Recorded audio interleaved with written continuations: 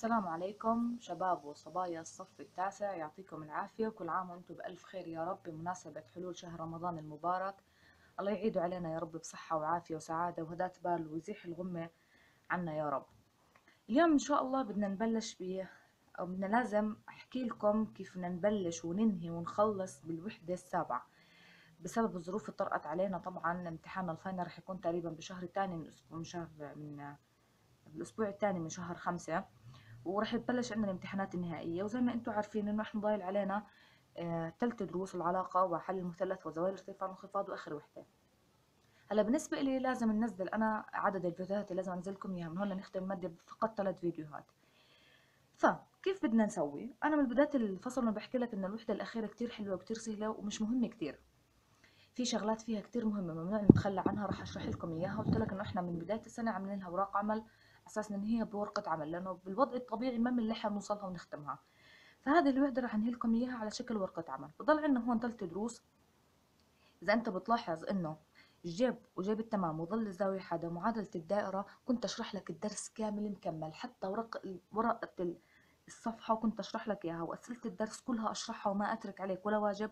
وإذا دركت واجب بيكون سؤال وما أعطيتك حله. ليش كنت أعمل هيك؟ لأنه أنت عارف إنه هاي الوحدة جدا مهمة.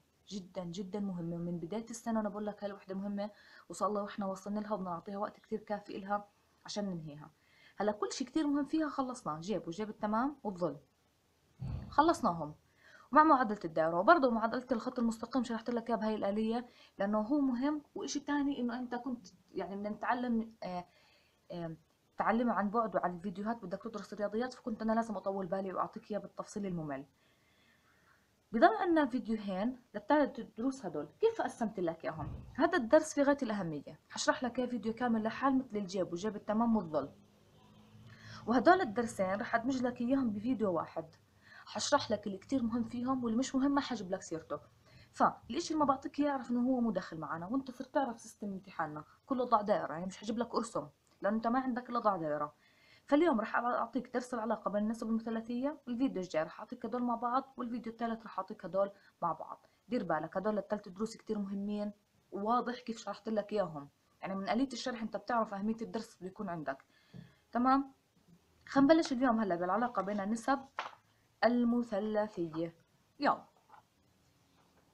وضحت لك إياها أنا كتبت لك إياهم على ورقة. العلاقة بين النسب المثلثية عامل زي العلاقة بين الطبيخ. هلا لقدام بشرح لك كيف العلاقة بين الطبيخ. طيب هذا الدرس تعرف في أسئلة من الامتحان اللي أنت قدمته أول امبارح؟ كانت أسئلة جاي من هذا الدرس. بس كيف بتجيبي لي أسئلة من درس اللي ما شرحتيه؟ ما أنا هذا الدرس أنا شرحت لك إياه كله بالجاب وجتا وظل كل علاقة من هدول أنا شرحت لك إياهم سابقا. قول لا هاي العلاقة لسه ولا مرة. هاي العلاقة شرحت لك إياها بالجيب وهاي العلاقة شرحت لك إياها بالظل. تمام؟ طب مس كيف شرحت لي إياهم؟ هلأ لما دخلنا الجتا وأنت تمكنت كثير منيح من المادة أنا علمتك شغلة. شو هي الشغلة اللي علمتك إياها؟ حكيت لك إنه جيب الزاوية الأولى وجتا متممتها. يعني إذا كانت الزاوية الأولى والزاوية الثانية مجموعهم 90 هذا معناه إنه جيب الأولى نفسه جت الثانية. إذا هاي المعلومة أنت ما بتعرفها مصيبة لأن أنا جبت لك سؤال عليها بالامتحان. كيف حليته أبو التسعة بالعشرة. فإذا الزاويتين إذا كان مجموعهم 90 حيكون جيب الزاوية الأولى نفسه جت الزاوية الثانية وجت الثانية نفسه جيب الأولى والعكس زي هيك وأعطتك على الظل وحدة ورح نتعمق في الظل هلأ كمان شوي. تمام؟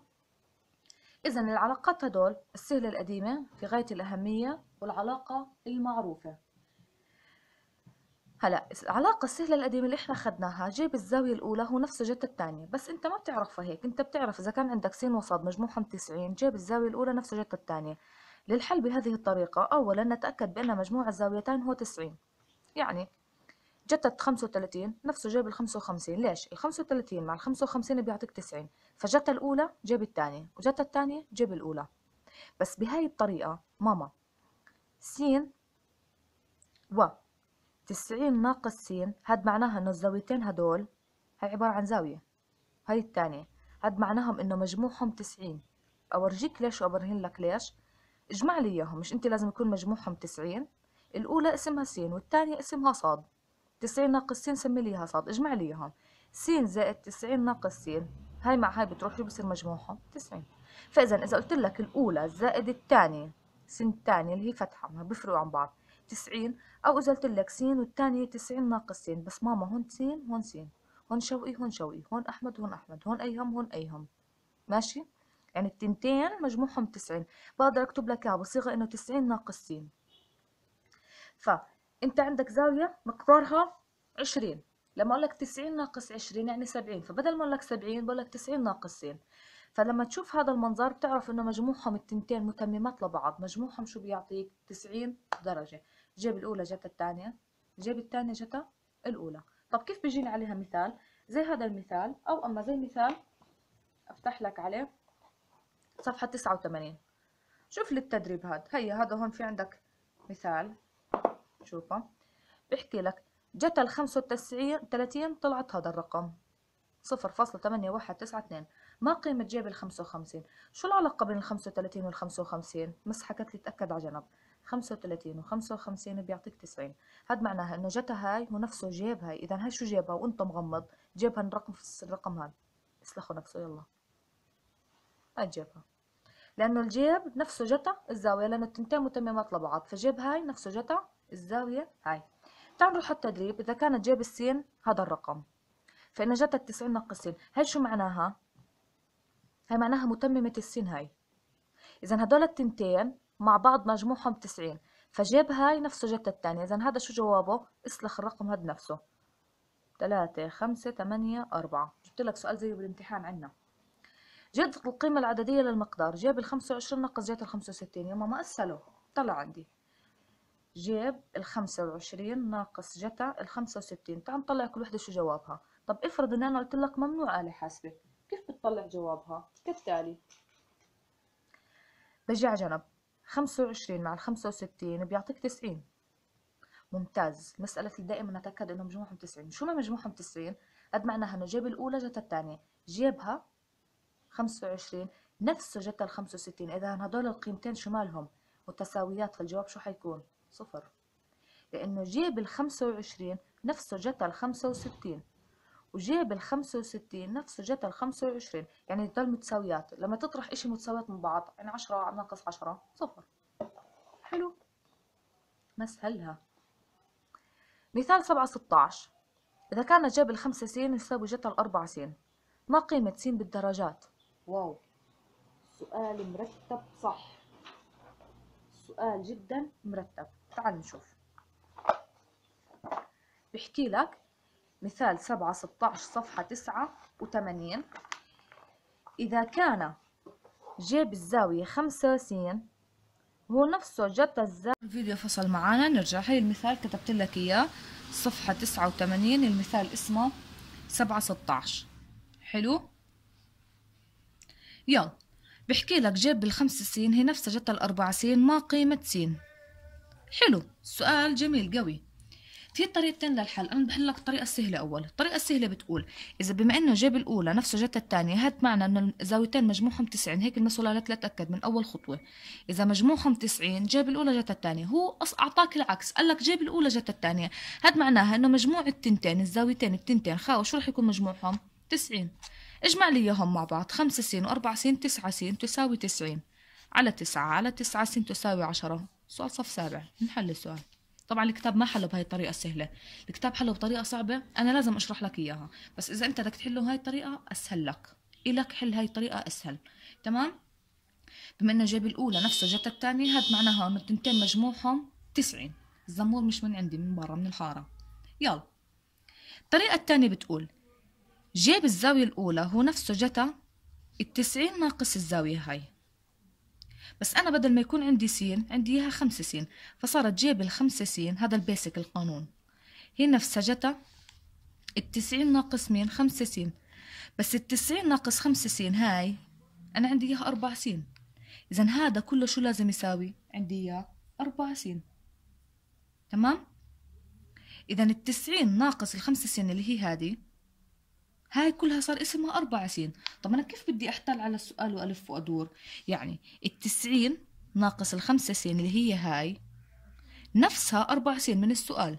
أنت عارف هذا القانون. جيب الخمسة سين نفسه جتا الجيب نفسه جتا التسعين ناقص متممتها بس أنا ما عندي إياها سين عندي إياها خمسة سين.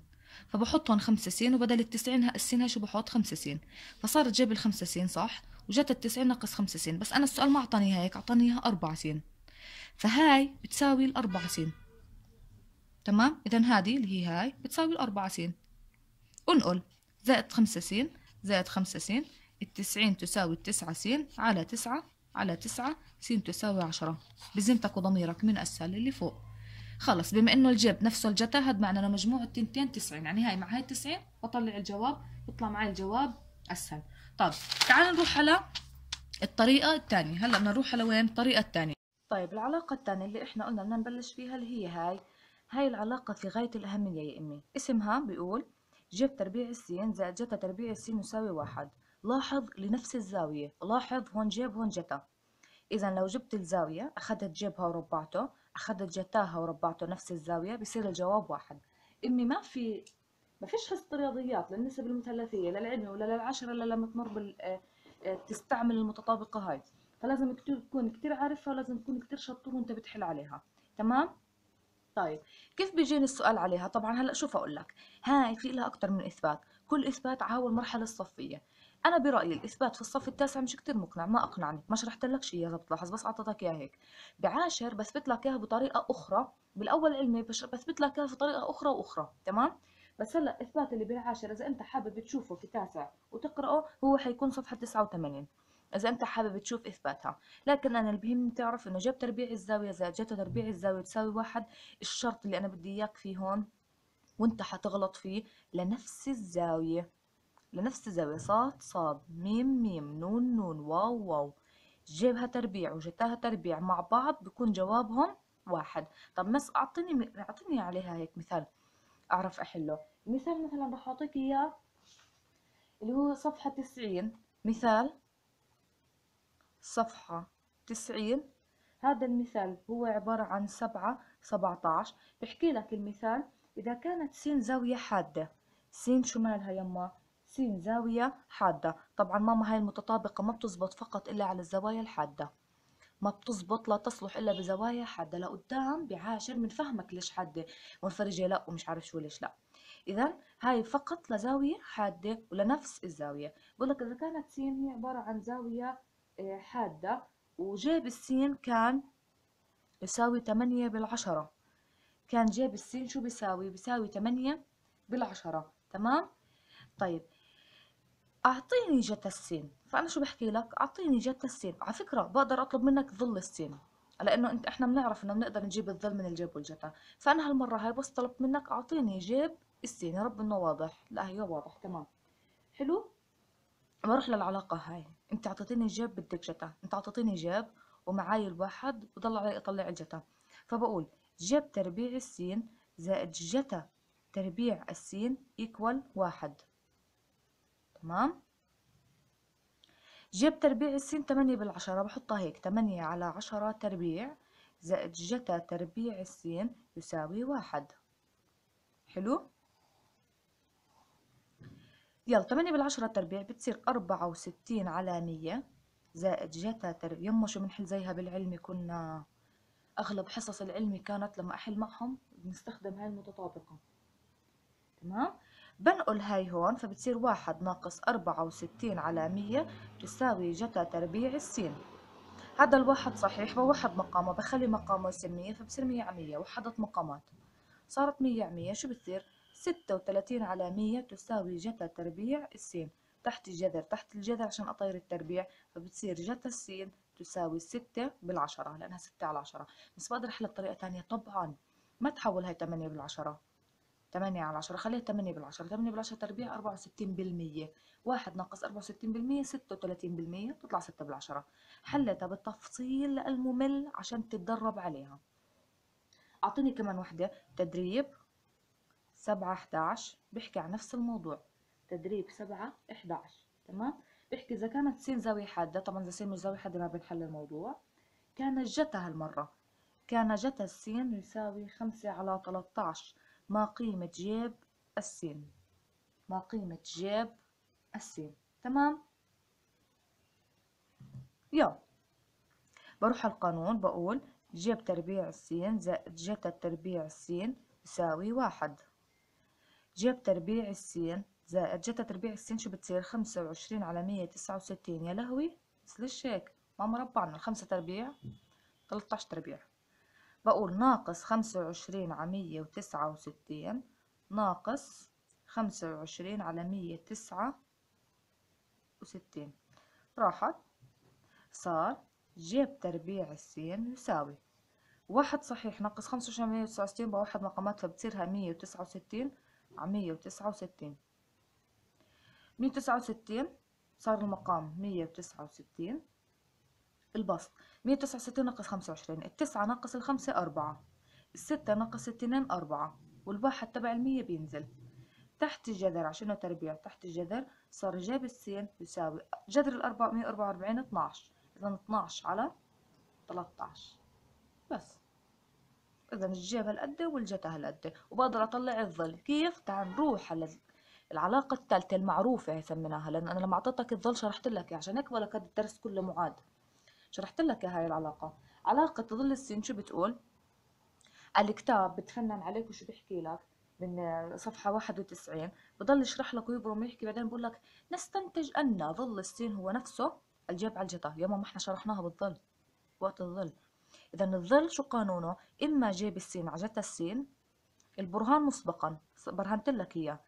الجيب هو عبارة عن المقابل على الوتر. والجتا الجتا هو عبارة عن المجاور على الوتر. فأنت لما تقسم هاي على هاي الوتر مع الوتر بروح شو بصير؟ المقابل على المجاور. إذا ظل السين له قانونين إما جيب على جتا وإما مقابل على مجاور. هو لما شرحنا الظل قلنا بس مقابل على مجاور. أنا لما شرحت لك قلت لك لا يما بقدر أعتبره برضه الجيب على الجتا ما هو المقابل نفسه الجيب والمجاور نفسه الجتا فبقدر أعتبره برضه شو؟ المجاور المقابل على الوتر والمجاور على الوتر. ماما إذا بدك هي أشرح لك إياها ماما. مقابل على وتر وهي قسمة طويلة. هاي قسمة والمجاور على وتر. هذا البسط وهذا المقام. بسابع تعلمنا إنه القسمة تحول إلى ضرب. بنزل هاي زي ما هي. هاي بتتحول ضرب هاي شو بصير فيها؟ بتقلب فبصير عندك وتر فوق راس ورجل نختصرهم مع بعض فبتصير مقابل على مجاور وتعلمنا برضه لما درسنا درس الظل تعلمنا معلومة كتير قوية بتقول إنه ظل الزاوية الأولى هو مقلوب ظل الثاني لما يكون مجموعهم تسعين. هي ظل الزاوية الزاوية هو مقلوب ظل الزاوية المتممة هو مقلوب ظل الزاوية المتممة. يعني إذا كان عندك الزاوية الأولى والزاوية الثانية مجموعهم تسعين الزاوية الأولى والثانية مجموعهم تسعين. هذا معناه إنه ظل الزاوية الأولى س هو نفسه مقلوب ظل الزاوية الثانية اللي هو شو؟ صاد. وهذا الشيء تعلمناه لما أعطيتك واجب. قلنا ظل الزاوية 30 واحد على جذر الثلاث 30 واحد على جذر الثلاث. وظل الزاوية الستين هو جذر الثلاث. بس ليش؟ ما هو 30 مع الستين مع بعض شو بيعطيك؟ بيعطيك 90 فإذا بتلاحظ ظل الأولى مقلوب الثانية واحدة جذر الثلاث مقلوبها جذر الثلاث اقلب جذر الثلاث واحدة جذر الثلاث بس. تمام؟ هاي اللي حكيتي فيه مسوين وهي هون عم ببرهن لك ليش الظل هيك بقول لك نستنتج ان ظل السين جيب السين جتا السين. بالله يا أختي إحنا عارفينها. من درس الظل درستك إياها. تمام؟ هلا هون شو ضاف شرط إنه جتا السين لا يساوي صفر؟ ليش؟ جتا السين لا يساوي لأنه أنا ممنوع أقسم على صفر. إحنا قلنا ممنوع المقام يساوي zero. فعشان هيك هون الجتا ممنوع يساوي zero. اذا إذا في عندك مس زوايا جتاها صفر بتعلمها بعاشر. هدول بحكي عن ظلهم غير معرف. اذا في زوايا ظلها غير معرف آه بتعمق فيها بعاشر. مين الزوايا اللي ظلها غير معرف؟ اللي جتاها صفر.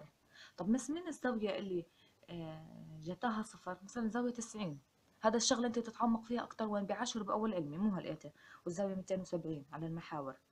متعمق فيها بعاشر وبأول ثانوي علمي. تمام؟ إيش في عليها مثال؟ تعال نشوف. مثال سبعة تسعة عشر. إذا كانت س زاوية حادة كان ظل السين يساوي ثلاث جد جيب السين وجتا السين. يلا نحله بدي أكتب لك إياه على ورقة إذا إذا كان السين زاوية حادة كان ظل السين يساوي ثلاثة طبعا ماما الظل هو جيب عجلة أو مقابل على مجاور. لزوايا حادة وغير حادة مطلقا ظابط معك تمام؟ بس بيعطيك شرط السين زاوية حادة لما كان بده يطلب منك الجيب والجتا لما بدك تستعمل متطابقة جيب تربيع سين زائد جيب تربيع سين يساوي واحد تمام؟ هلا هون أنا بقدر أشبك بين هاي وهاي. أعطيك جيب. أطلب منك جتا بتستعمل هاي عشان تطلعها. أطلب منك ظل تستعمل هاي عشان تطلعها. فممكن نقطة واحد أعطيك ظل أو جيب أو جدا أنت طول الباقي. حلو؟ العلاقة بالنسبة المثلثية يا أختي زي كأنه ويا أخوي زي ما كأنه نجيب الرز ونجيب الرز وواحد صايم خليه يتشهون. الرز وتجيب البتنجان تجيب الزهرة وتجيب البطاطا وتجيب الزيت وتجيب البهارات وتشكلهم تصنع مقلوبة. فالزيت وال وال جعت يا مس عم بصور أنا صايمة جعت يا مس تجيب البطاطا والبتنجان والزهرة والرز مع بعض هدول هم بجيبوا الجتا والظل.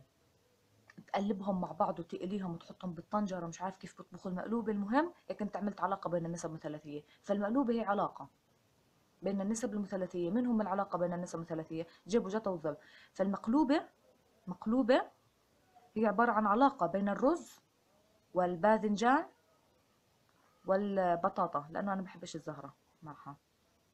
فالمقلوبة هي عبارة عن رز وباذنجان وبطاطا علاقة بيناتهم. تمام؟ عشان هيك بدي أوضح لك المعلومة. فأنت هلأ بهذا الدرس شو هدفنا؟ أعطيك ظله أقول لك جيب لي الجيب والجتا لهي الزاوية. بس ركز إنه إحنا معلش زمور من الحارة مش من عندي. آه، آه، ركز معي في شغلة إنه لنفس الزاوية. يعني أنا طالبة منك مثلا أعطيتك جيب السين بدك أنت تطول لي الجتا والظل بس لمين؟ لنفس الزاوية الزاوية سين. هلأ بقدر أطلب منك للزاوية صاد بس بشرط لازم أكد عليك إنه سين مع صاد بتعطيك 90 أو أقول لك متممات لبعض. تمام؟ نشوف مثال 7 19 بيقول إذا كانت س زاوية حادة وكان ظل السين 3 جيب الجي... أعطيني جيب السين وجت السين. كتير حلو. ظل السين يساوي 3 طالب أنا منك جيب السين وجتا السين. بدي إياهم. هلأ لو أنا حليت برصاص مبين معانا مبين.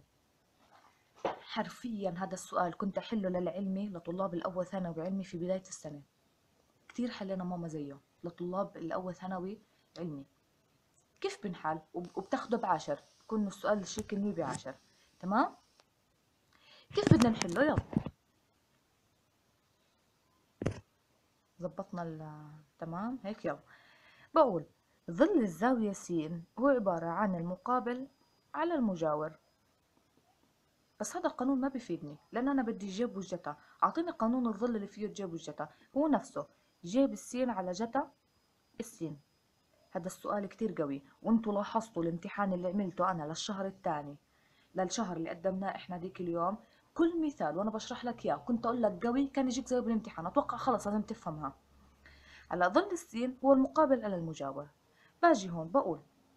ظل السين قال لي إنه هو من السؤال ثلاثة. يساوي الجيب السين على جتا السين. طب شو مقام الثلاثة واحد بضرب ضرب تبادلي. بصير ثلاثة جتا السين تساوي جيب السين إذا بتلاحظ إنه الأسئلة الخفيفة شرحت على نفس ورقة الشرح. سؤال قولي زي هيك فضيت لك ورقة كاملة. بدنا نشرح عليه إياك تفهمه صح. إذا هاي العلاقة من وين إجت؟ من ظل السين يساوي ثلاثة جيب على جتا ضرب تبادلي طلعت معي هاي العلاقة. هلأ بروح للعلاقة القوية اللي دائما بستعملها. بتقول جيب تربيع السين زائد جتا تربيع السين. يساوي واحد تمام؟ جيب تربيع السين زائد جتا تربيع السين. شو بيساوي بيساوي واحد. حلو. بإيش ممكن أستفيد من هاي الشغلة؟ بستفيد من هاي الشغلة بإشي إنه بطلع الجيب والجتا اللي معاي عشان أروح أظل وأكمل الحل وأطلع الجواب. طيب يلا.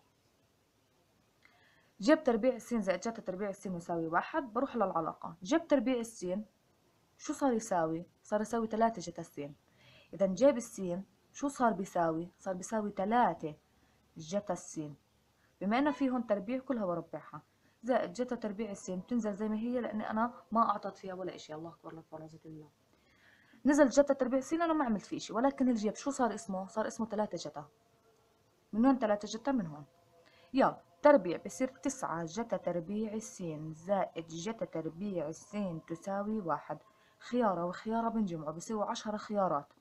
عشرة جتا تربيع السين تساوي واحد لأنه هون تسع جتايات وجتا وحدة عشرة جتايات. هلا بدي جتا تربيع السين لحالها. بقسم هون على عشرة بقسم هون على عشرة.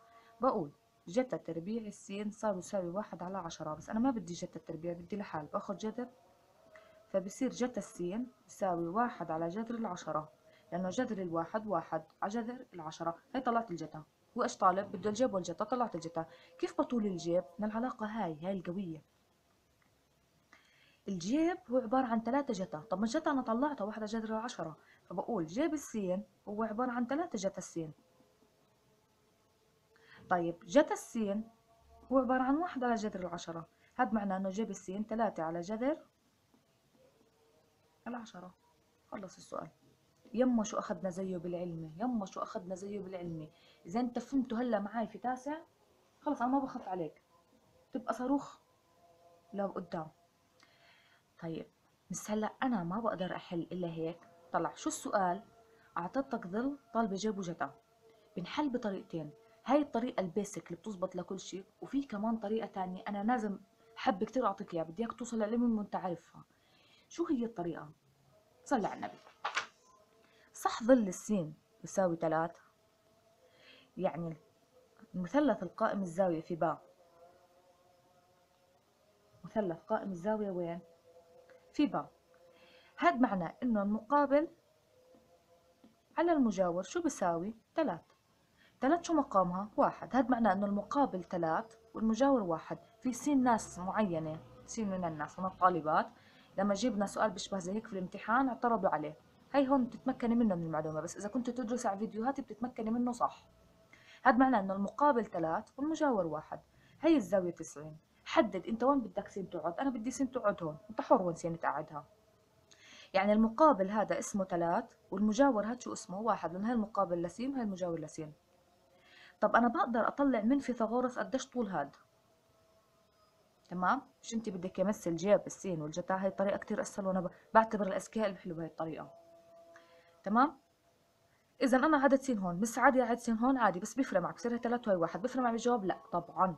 إذا المقابل ثلاث والمجاور واحد. المقابل ثلاث والمجاور شو طلع معي والمجاور طلع معك واحد. حلو؟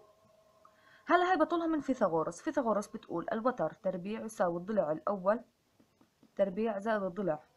الثاني تربيع.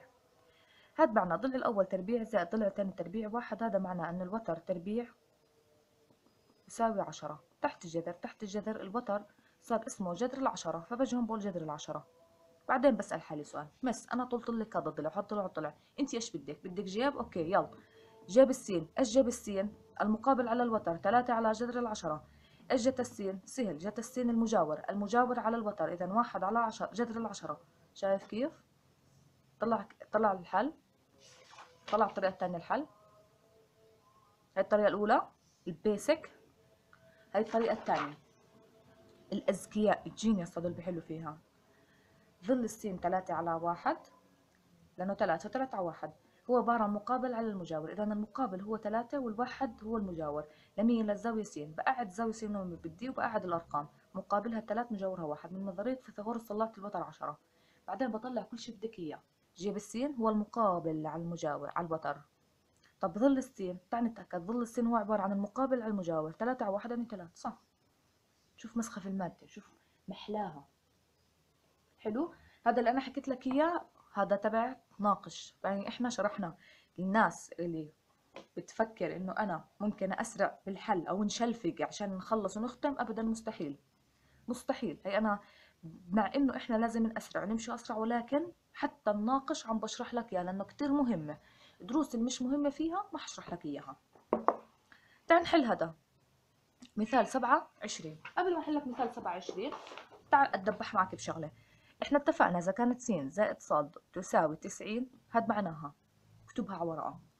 جيب السين نفسه جتا الصاد. جيب الصاد نفسه جتا السين.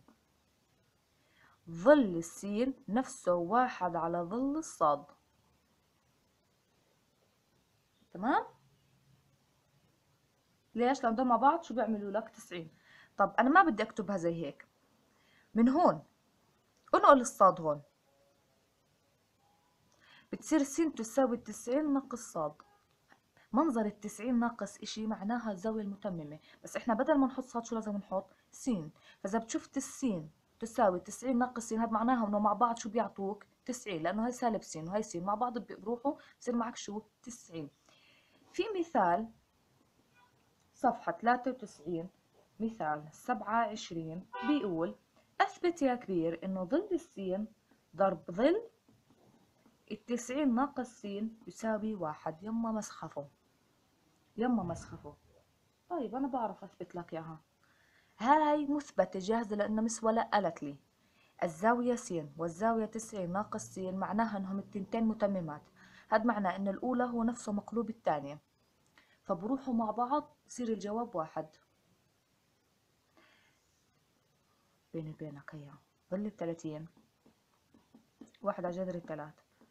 ظل الستين جذر الثلاث. طب واحد على جذر الثلاثة ضرب جذر الثلاث. هاي بتروح مع هاي شو بضل؟ واحد لأن الثلاثين والستين تسعين. بنجي مع بعض تسعين. طلع؟ نفسه هاي. طب بس بس برهن لي إياها. بس بدي برهان هيك عشان أنا أتأكد عشان بعدين خلص أقول لك طابو كلامك صح. هو طابو من هون. من زمان طابو. بس تعال نشوف. شو بنقول؟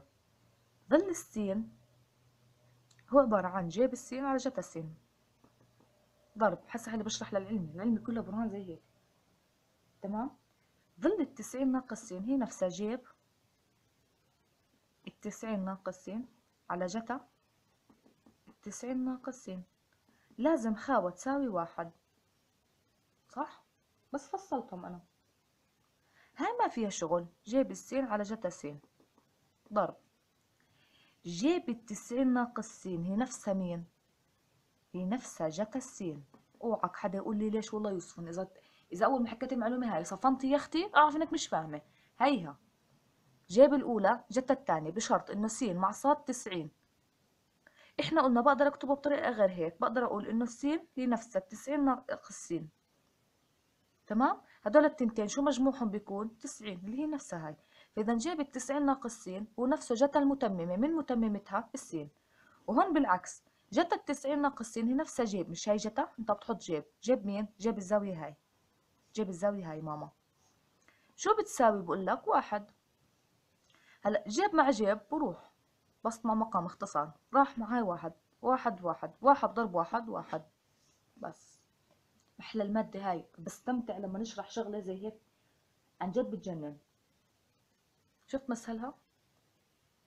بس بدي إياك لما أقول لك تسعين ناقص سين اعرف إنه هاي هي الزاوية المتممة لمين؟ للسين. اذا هاي مع السين مع بعض شو بيعطوك؟ تسعين. ماشي يا أخوي؟ ماشي يا أختي؟ شوف لي هذا التدريب.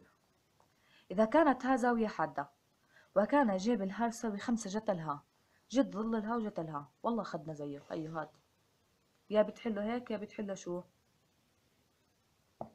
هيك. بزبط نحل هيك هذا. تعال نخربش هون جيب الها يساوي خمسة جتا الها تمام؟ هاد ما بزبط نحل بالطريقة الذكية ال genius اللي قلت لك عنها. ليش يا أختي؟ ليش يا أخوي؟ لأنه ما أعطاك الظل. إحنا بدنا إياها ظل كظل. هذا ممكن أعطيك إياها كظل. شو تعمل؟ تقول على جتا الها هاي الطريقة ال genius اللي ما فهمها ما يسألني عنها. لا تجننوني تسألوني عنها اللي ما فهمها. هاي مع هاي راحت فصار جيب على جتا يعني ظل الها يساوي خمسة. لو بدي عاملك طالب علمي هيك بنحلها بدي عاملك طالب علمي. بتيجي بتعمل هيك تقول أنت الزاوية سين أنت خمسة أنت واحد. فأنت جذر الستة وعشرين لأنه خمسة تربيع خمسة وعشرين واحد. يعني جيب س بيساوي خمسة على جذر الستة وعشرين. وجتا السين جتا آه، أنا بسميها سين هي ها. من السؤال اسمها ها. الها هو عبارة عن واحد على جذر الستة وعشرين. هي جوابك النهائي. بس كيف حليتيها بسرعة هاي؟ هاي طريقة ال genius ال genius بس هو بيعطيك الظل زي هون. هون ما أعطاك الظل أعطاك علاقة بين جيب وجتا. رحت أنا الظل كيف بيجي؟ لما أقسم على جتا. قسمت هاي على جتا قسمت هاي على جتا. فصار جيب على جتا ظل. فصار الظل يساوي خمسة حلتها بطريقة ال genius طب انت بدك تحلها بأي طريقة؟ بدك تحلها بهاي الطريقة انت بدك تحل هذا السؤال بهاي الطريقة. بس انت كل الخطوات السابقة هاي ما بتمشي فيها. انت هون موصل هون أعطاك العلاقة جاهزة. أنا طلعت العلاقة هون. انت انت بدك يعني هو أعطاك العلاقة هون جاهزة. شو هي العلاقة؟ عفوا سكرت الكتاب. بدي ساعة أفتح هلا. إنه جيب الها يساوي خمسة جت الها تمشي على هذا القانون بيطلع معك الجواب. تمام؟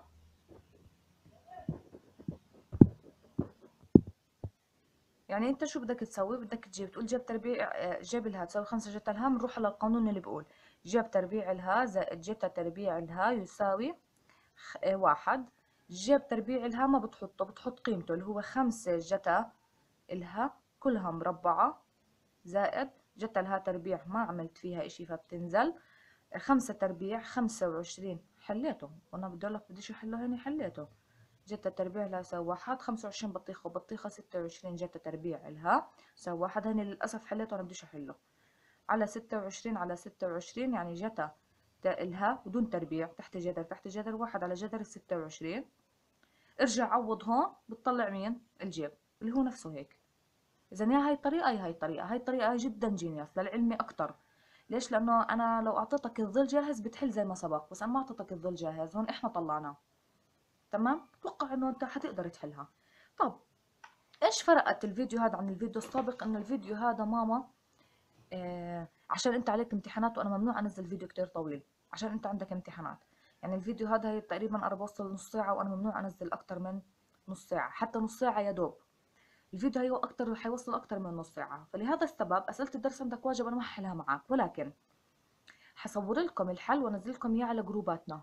وأي استفسار طبعا بتسألني. بس خليني شوي أمشي معك في كم شغلة. إذا كان جيب السين كذا قيمة شو معنات هاي؟ متمم. فالجتا نفس الجيب فالجواب دغري نفس الرقم هذا إذا جاب السين نفسه جت التسعين ناقص سين لأنه التسعين ناقص سين مع السين شو بيعطيك؟ بيعطيك واحد. تمام؟ مع بعض بيعطوك شو؟ واحد. فهي نفس الجواب. أثبت أن جاب السين حثبت لك إياه وأصور لكم هلا هلا يعني حنتهي من التصوير وحل لكم إياه. هذا السؤال كمان كتير حلو. أهم سؤال عندي إياه سؤال أربعة. هي أجوبته صفر وواحد وواحد وواحد بيطلعوا. وقف الفيديو وغش. بس هذا حرفيا أهم سؤال. هذا السؤال جدا متكرر وهذا السؤال جدا متكرر. في حوار بين طالبتين شذا ورشا ورشا. قالت شذا يمكن أن نجد زاوية حادة جيبها أساوي اثنين. مستحيل دائما الجيب دائما أقل من واحد ماما. ما بيساوي واحد إلا زوايا محورية عادية. المهم ما بقدر أشطب لك ولا سؤال من أسئلة الدرس. كلهم عندك واجب وكلهم سهلين. ما في ولا فكرة جديدة ولكن في لف ودوران. لسوء إني أنا ما بقدر أشرحهم لأنهم حياخدوا مني كتير وقت. حنزل لك حلهم وأي شيء بدك إياه بتسألني على الجروبات تمام؟ أنا حصور الحل وأنزل لكم إياه على الجروبات. كلهم على حدا وطبعا طلابي بتتواصلوا معي بالطرق اللي إحنا متعودين عليها. أوكي هي أول فيديو خلص الفيديو الجاي رح أدمج لك حل المثلث القائم مع زوايا الارتفاع والانخفاض ونخلصهم. طابت أوقاتكم ويعطيكم ألف عافية يا رب.